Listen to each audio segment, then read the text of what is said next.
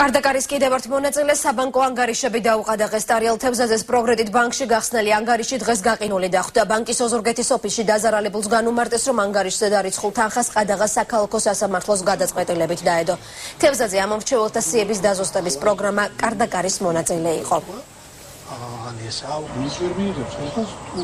პროგრედიტის ბანკის ბუღალტერმა ჩემი პირადი მოწმობის საფუძველზე ამოიღო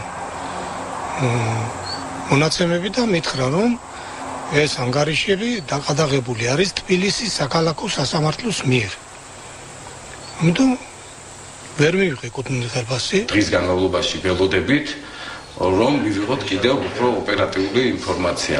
ვფიქრობ რომ ალბათ ჩვენთანაც იქნება ეს საერთოდ მთელი საქართველოს მასშტაბით მიმდინარეობს ალბათ ხელისუფლების მხრიდან აი ეს აქცია